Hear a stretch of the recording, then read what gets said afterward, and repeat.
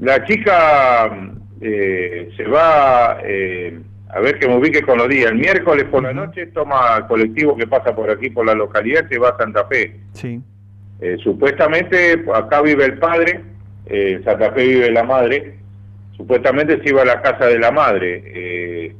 la denuncia se radica después cuando la madre, llegado, llegada la hora, bueno, la fue a esperar en un determinado lugar, no llegaba, se comunica con el padre, la chica había salido de acá, entonces ahí empieza, esperan unos minutos prudenciales que me imagino que la policía se los habrá pedido y, después, bueno, ya estaba radicada la denuncia y a partir de allí se empezó con la búsqueda, ¿no? Porque la chica no, no aparecía.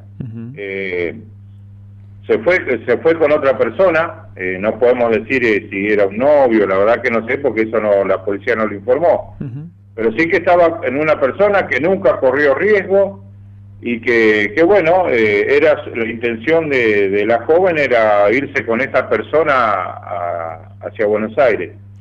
Eh, por suerte, bueno, eh, cuando comenzó a salir el, a través de las redes que la estaban buscando, la chica se comunica con la madre y bueno, ahí empieza todo el trabajo de la PDI, que a través de, me imagino, de rastreo de teléfono y demás, eh, ya se sabía temprano, eh, después del mediodía, que la chica había aparecido, que estaba con vida, pero bueno, no estaba, digamos, por llamarlo de alguna manera, en poder de la policía. La policía no puede decir, nosotros la tenemos y está sanizado. Claro. Bueno, con el transcurrir de, las horas de la tarde, la chica se, se, comunicó un par de veces más con la madre y bueno, dieron con el paradero de, de, brisa, ¿no? Después, bueno, la policía hace todos los trámites de rigor y anoche supuestamente se iba a estar con la madre. Claro.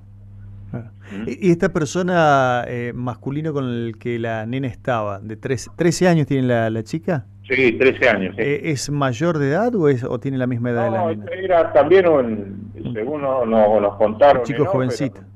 Era un adolescente también, no era una, una persona mayor de edad. No, no, para nada.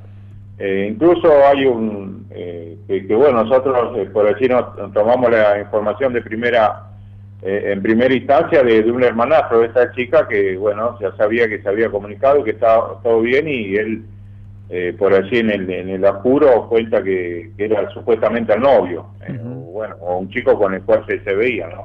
Claro que bueno, afortunadamente tuvo un final feliz, pero estas historias a veces terminan de la peor manera, ¿no? Porque digo, embarcarse de Fran a Santa Fe, Santa Fe sin conocer, querer irse, irse a Buenos Aires, eh, dos chicos adolescentes, eh, a veces este, el, desenlace es casi trágico de esta historia. Me imagino que Fran estaba conmovido.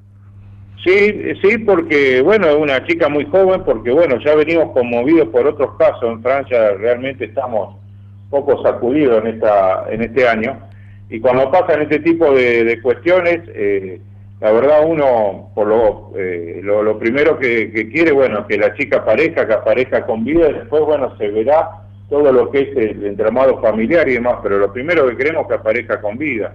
Hace un par de, hace un mes, un mes y algo, que un chico también se había ido, eh, se vio de la casa y bueno, se perdió en un determinado momento, resulta que agarró por el campo y terminó llegando a las tunas. Pero mientras tanto, en esas seis horas, la incertidumbre que había en el pueblo de un nenito que tiene algunas dificultades eh, físicas, eh, se había perdido. Bueno, la búsqueda fue intensa hasta que, bueno, también a través de la red, a través de, nosotros, se enteró que lo estábamos buscando y que, que bueno, así comunicaron, ¿no? no me acuerdo el nombre, pero pongámosle Juancito, llegó bien, está acá en las tunas y bueno, estaba salió por el campo y se perdió. Pero bueno, son momentos para los pueblos, eh, para las ciudades chicas, son momentos de incertidumbre porque nos conocemos todos y más cuando se trata de, gente joven, de, menores en este caso. Sin duda, sin duda. Eh, hay que esperar un tiempo prudente, dice la policía, que creo que son 24 horas. El tema es que la desesperación hace que uno no puede esperar eh, ni un minuto, ¿no? Imaginemos, ¿no? Pongámonos en el lugar de padres, de, tíos, de abuelos.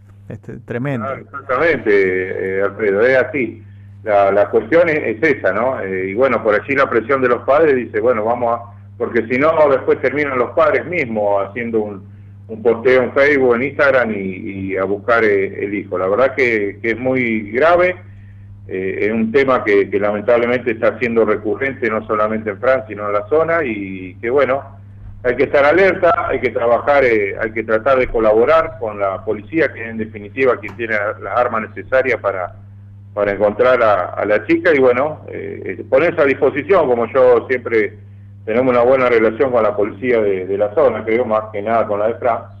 Es decir, bueno, por allí ponerse a disposición, eh, eh, ayudar y, no entorpecer la causa. A veces eh, una, una noticia, una, comunicación queriendo transformar la noticia, por allí puede entorpecer la causa, que es lo que pasó ayer, porque bueno, el hermanastro al, al encontrar, al saber que su hermanita estaba bien, eh, posteó que ya la habían encontrado, resulta que no, que la chica se sabía que estaba, que estaba con vida, pero la policía todavía no la tenía consigo, como dije al, al principio.